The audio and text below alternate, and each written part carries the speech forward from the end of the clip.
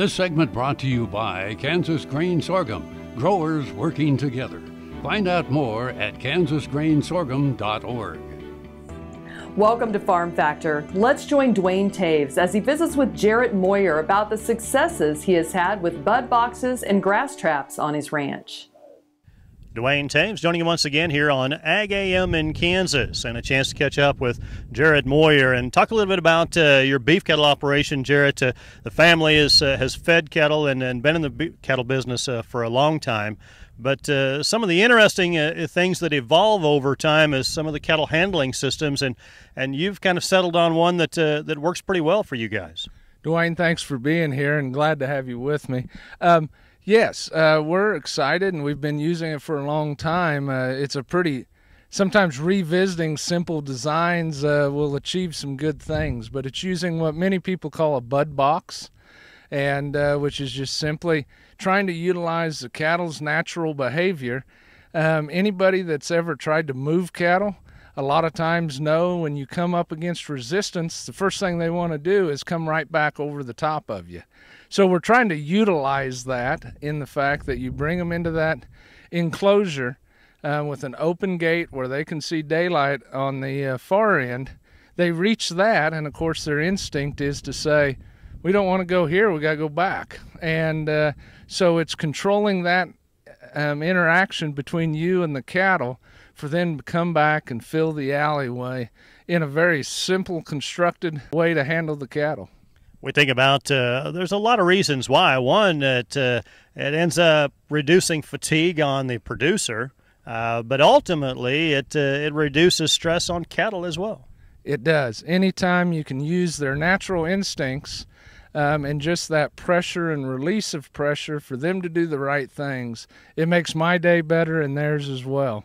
Um, there's also good research to show that uh, some of the uh, vaccinations and procedures you're doing while you're having them in through those facilities will actually work better over the time of their life. We think about uh, it's kind of an old concept, but sometimes you got to slow down to speed up is something that gets said often. It, it is. It is. Uh, you don't want to quote that uh, Ricky Bobby saying, but you know, going fast is sometimes going slow. But with livestock, that's a lot of times the case that if you handle them slow and easy, they'll actually move through your facilities better, faster, and let your you and your people be more efficient. Let's talk a little bit about more another aspect of uh, your facility and the ranch operation there. That uh, some grass traps in your feeding facilities, uh, instead of just a strictly confinement operation when we bring cattle in, has some added benefit as well.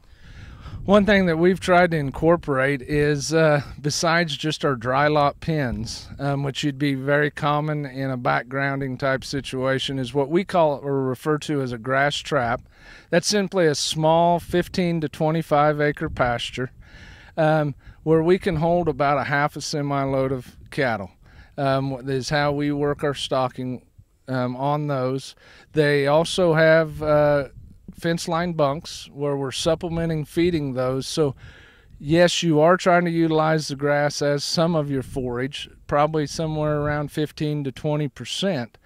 But really, what it is is to let those cattle, especially in our case, high risk southeastern calves, get out, stretch their legs, put their head down, graze, and we've just found tremendous health benefits on the cattle, seeing less mortality, more less morbidity on those calves that we can handle through the grass traps. Our thanks to Jaret Moyer joining us here on Ag AM in Kansas. Jamie, we'll send it back to you. Thanks, Duane. Folks, come back after these messages for this week's Kansas Soybean Update.